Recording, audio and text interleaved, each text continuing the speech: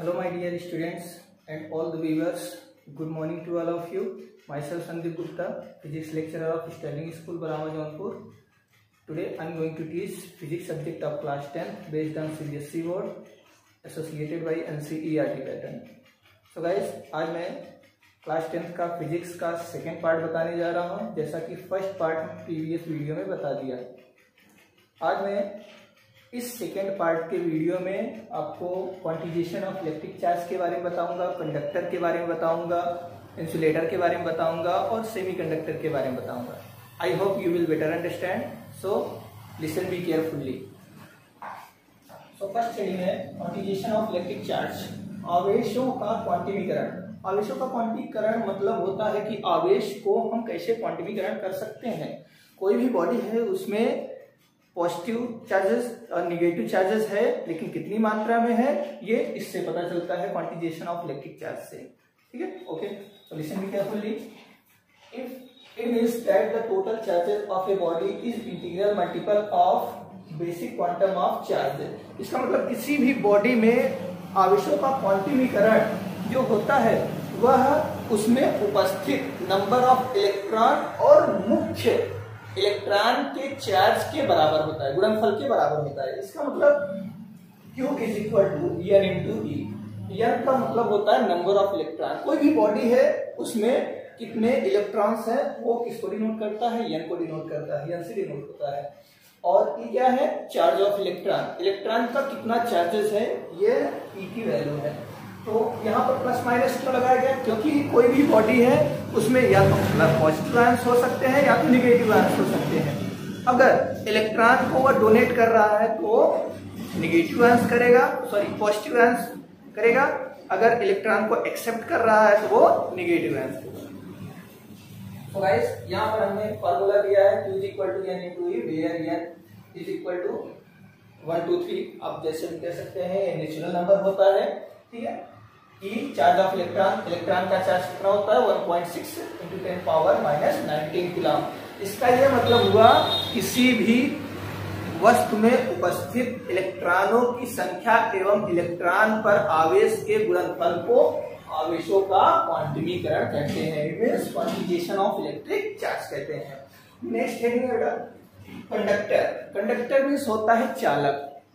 Conductor क्या होता है? चालक। चालक के बारे में हम बता देते हैं कि what is conductor those substances in which electricity can be flow easily ऐसा कोई सब्सटेंस ऐसा कोई पदार्थ जिसमें इलेक्ट्रिसिटी आसानी से फ्लो हो, जिसमें इलेक्ट्रिसिटी आसानी से फ्लो हो, उसे हम क्या कहते हैं? कंडक्टर कहते हैं इट चालक कहते हैं। For example aluminium copper iron human body etcetera ये ऐसे सब्सटेंस है जिसमें इलेक्ट्रिसिटी आसानी से फ्लो होता है। जैसे वायर बनता है, या तो एल्यूमिनियम का होता है, या तो कॉपर का होता है। उसमें इलेक्ट्रिसिटी फ्लो करता है तो वो क्या माना जाता है? कंडक्टर माना जाता है। ह्यूमन बॉडी मानव शरीर भी कंडक्टर माना जाता है। अगर मानव शरीर के अंदर इलेक्ट्रिसिटी फ्लो कराया जाता है तो उसके पूरे बॉडी में इलेक्ट्रिसिटी फ्लो होता है। इसलिए उसको हम कंडक्टर मानते हैं। नेक्स्ट हेडिंग है सेमीकंडक्टर सेमीकंडक्टर क्या होता है? Semiconductors are materials which have a conductivity between conductor and insulator इसका मतलब हुआ कि जो इंसुलेटर सॉरी सेमीकंडक्टर होता है, वह कंडक्टर और इंसुलेटर दोनों के बीच में कंडक्टिविटी चालकता होता है। For example that gallium arsenide cadmium etcetera ये सब ऐसे एग्ज़ाम्पल है जिसमें कंडक्टर और इंसुलेटर दोनों के प्रॉपर्टीज़ मिक्स होते हैं, दोनों के प्रॉपर्टीज़ होते हैं। इसलिए हम इसको क्या कहते हैं? सेमीकंडक्टर कहते हैं। अब हम आपको इंसुलेटर के बारे में बताने जा रहे हैं। Insulator so listen be carefully insulator होता क्या है? What is insulator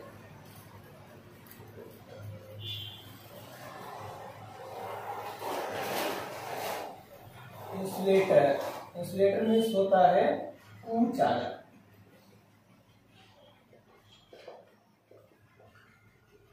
those substances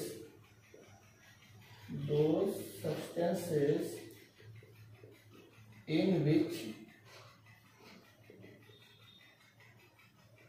electricity can't be flow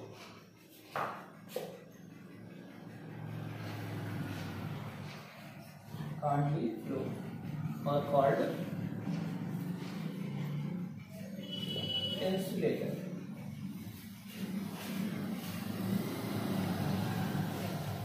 for example है,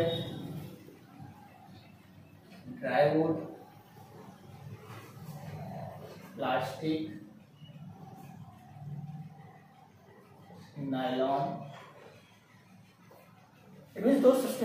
in which electricity can't be flow are called insulator ऐसा कोई सब्सटेंस जिसमें इलेक्ट्रिसिटी फ्लो नहीं करता, उसे हम क्या कहते हैं? इंसुलेटर कहते हैं। जैसे प्लास्टिक में अगर हम इलेक्ट्रिसिटी फ्लो कराते हैं तो वो बिल्कुल उसमें इलेक्ट्रिसिटी फ्लो नहीं करेगा। और ड्राई वुड सूखी लकड़ी में भी इलेक्ट्रिसिटी फ्लो नहीं करेगा। नायलॉन टायर ट्यूब जो होते हैं, वो नायलॉन के बने होते हैं, उसमें भी इलेक्ट्रिसिटी फ्लो नहीं करता है। तो ये सब क्या है?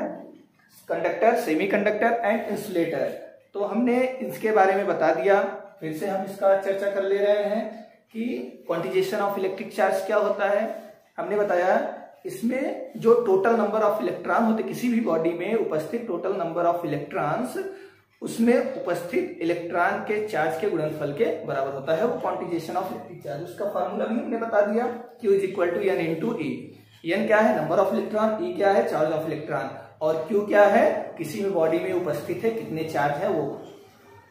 कंडक्टर क्या होता है? Those substances in which electricity can be flow easily ऐसा कोई सब्सटेंस जिसमें इलेक्ट्रिसिटी आसानी से फ्लो करता है, उसे हम कंडक्टर कहते हैं। For example aluminium copper iron human body next conduct semi conductor semi conductor means होता है अर्धचालक। अर्धचालक का मतलब आधा गुण चालक का होगा, आधा गुण कुचालक होगा।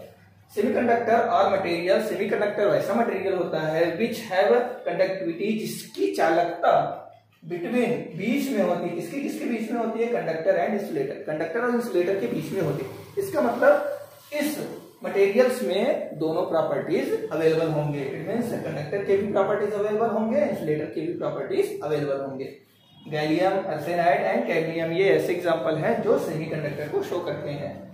नेक्स्ट है इंसुलेटर इंसुलेटर मीन्स होता है कुचालक those substances in which electricity can't be flow are called insulator for example that dry plastic nylon ऐसा कोई सब्सटेंस जिसमें इलेक्ट्रिसिटी बिल्कुल फ्लो नहीं कर पाता, बिल्कुल नहीं फ्लो हो पाता, उसे हम कुचालक कहते हैं। फॉर एग्जांपल ड्राई वुड सूखी लकड़ी प्लास्टिक नायलॉन ये सब ऐसे एग्ज़ाम्पल है जिसमें इलेक्ट्रिसिटी बिल्कुल फ्लो नहीं करता है। सो so गाइस आज के इस वीडियो में मैं केवल इतना ही बताऊँगा। नेक्स्ट वीडियो जब लेकर आऊँगा, इस क्वांटिजेशन ऑफ़ इलेक्ट्रिक चार्ज के एग्ज़ाम्पल को लेकर आऊँगा न्यूमेरिकल्स को लेकर आऊँगा। I hope you will better understand be safe and keep learning thanks